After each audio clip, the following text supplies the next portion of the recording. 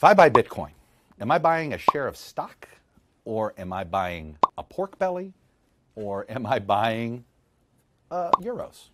What or am I are you buying air? U.S. Senator Elizabeth Warren is waging a full on war against Bitcoin and cryptocurrency. This is not hyperbole. This is what she tweeted just today. Elizabeth Warren is building an anti crypto army. See, you might know Senator Elizabeth Warren for focusing on other things. Maybe you know her because she's been largely in favor of holding banks and Wall Street accountable for their actions, and that's okay. And there were a lot of progressives who really wanted to rein in Wall Street.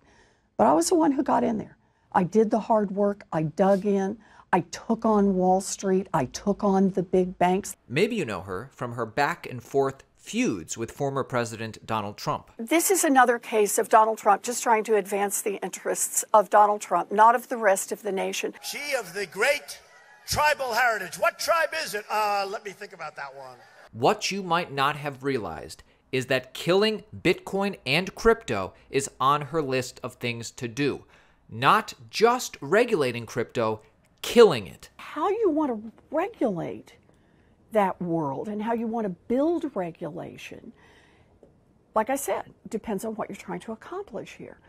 I think that world should be largely cut off, but not everyone agrees with that. Why does Elizabeth Warren want to kill crypto? Maybe it's because she's planning to run for US president You're right, Lawrence. This is a part of why I'm running for president. and she knows that the powers that be expect certain things from her. Let's do a central bank digital currency. Warren understands that if she's to become president, she must be in favor of CBDCs, central bank digital currencies, and it seems like she's not just for them, she's giddy for them. So, a lot that banks do wrong, if you think we could improve that in a digital world, the answer is sure you could. But in that case, let's do a central bank digital currency. Are you there? Oh, for a central bank digital currency? Yes. I think it's time. She loves CBDCs because governments control it, because banks back it. We could be talking about, instead of Bitcoin, we could be talking about digital currency because that's a government backed um, uh, electronic transfer. And it can be denominated in dollars, it could be denominated in euros, but that has something that backs it up. It has a government that says if at the end of the day there's a run on this stuff, everybody wants theirs out, the United States government promises there will be something to back it up.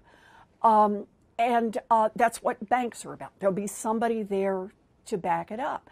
So, why doesn't Elizabeth Warren like crypto? What's her problem with it? It opens the doors to. There's another part of the crypto world that says, no, we like it. That nobody can tell who came on this system and what they're using this system for. They would describe it as getting away of the prying eyes of the government. But another way to say that is, yeah, opening up the door to the money launderers, to the human traffickers, to the um, uh, to the tax cheats, to the countries that are trying to evade sanctions.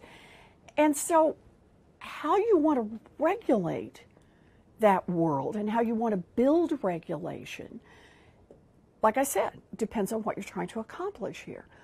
I think that world should be largely cut off from the cheats and from the money launderers. But not everyone agrees with that. She wants to kill it. Here, Chuck Schumer and Elizabeth Warren create fear, uncertainty, doubt, doom, and gloom. What happens if everybody just decides to sell their Bitcoin one day?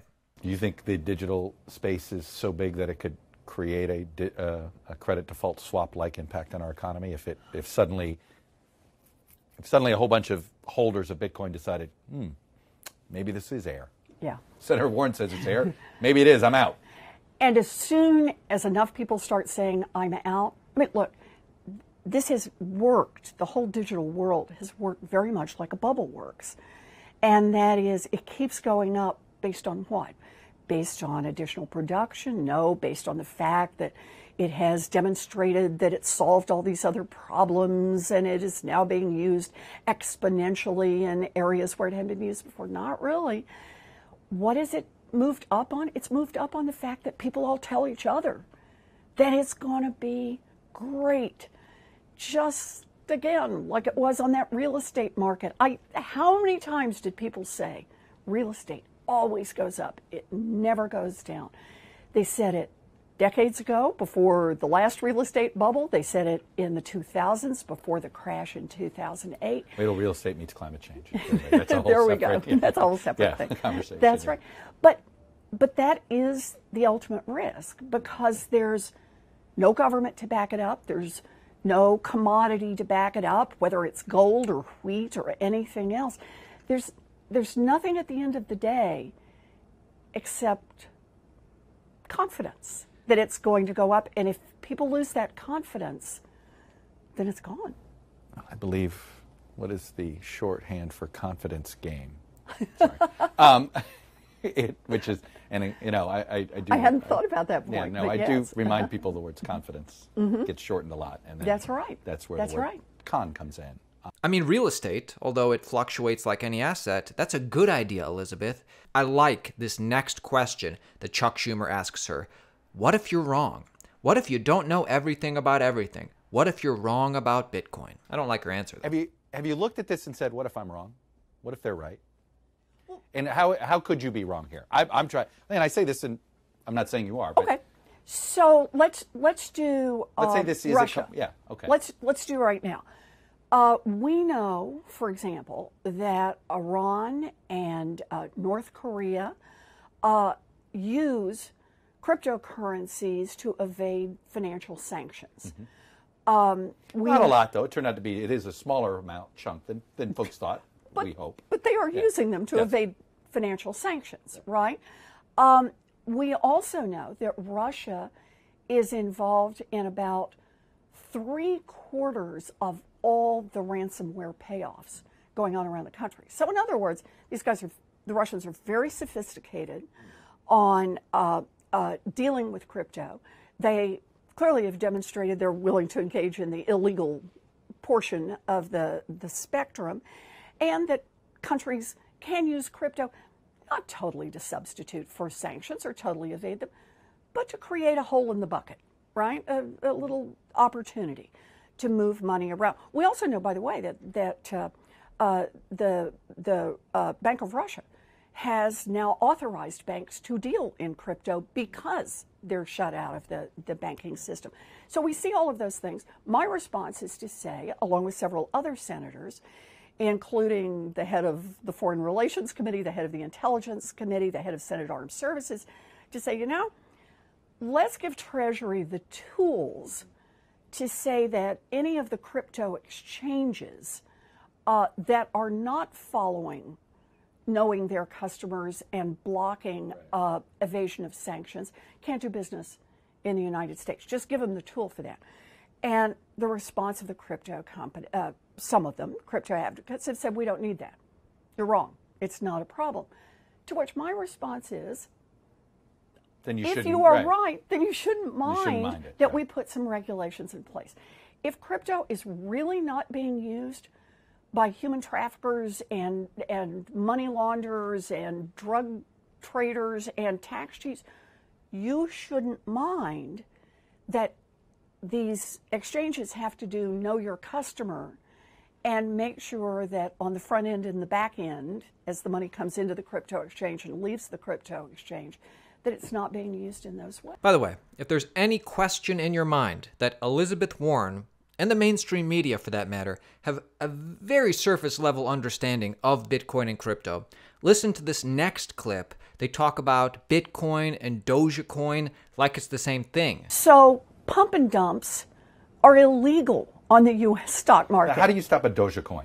Dogecoin is like this whole right, the whole idea, the dog coin, right? That's right. Watch it, and it was to me, it's like, boy, you really, they really exposed a big flaw in Bitcoin. It- you know, I see it this way. I actually don't think that one exposes a big flaw. It says, guys, this is what you said it is. It is, I made this up and I'm having great fun with it. And people then get engaged and they have confidence in it. So they bid up the value. So, Elizabeth Warren, it's kind of a mixed bag in some ways because, on the one hand, she has made a name for herself, at least seemingly holding Wall Street's feet to the fire. On the other hand, she's also very anti crypto. Now, crypto wants to hold Wall Street and the traditional financial system their feet to the fire. The enemy of your enemy is your friend.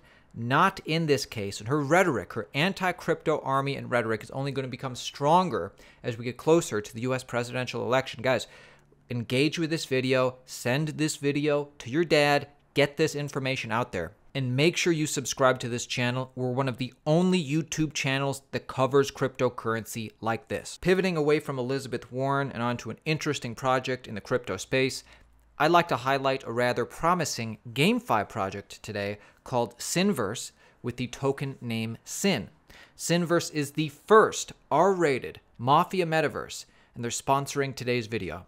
This is definitely one to keep an eye on, as it's got a lot of exciting developments happening right now. First off, Sinverse had a successful land sale in 2022. They sold out for an impressive 3.5 million. The project is also activating business licenses, which will allow users to start their own gamified R-rated businesses like strip clubs, like coffee shops, and weapon stores so you can become the ultimate kingpin if you'd like to get involved in this sinfully fun metaverse project. The fact that you can do this, it's a unique feature that sets Sinverse apart from a lot of others in the space, if not all others, and could potentially lead to massive growth opportunities. I mean, I don't see Sandbox or Decentraland hosting strip clubs and weapons stores. The game is already in its alpha stage and is now beginning its play and earn economy. It looks like Grand Theft Auto on the blockchain, and it could be one of the bigger games in the blockchain gaming category because of this. This makes Sinverse an exciting project, especially with the next gaming bull run on the horizon. I mean, it should appeal at least to a lot of the degen crypto users, at least, Sinverse is listed on major exchanges like KuCoin, Gate, and MXC, and they already offer weekly free play and earn competitions. So make sure you check it out. Keep an eye on the SIN token. I'm going to link their website and Twitter and white paper below for your continued education. Get your tickets to Bitcoin 2023 Miami, May 18th through 20th, Miami Beach this year. Use code altcoin daily 10% off. This is the biggest Bitcoin conference of the year. Ticket prices continue to increase as we get closer to the event. Use code altcoin daily 10% off. Get your tickets now.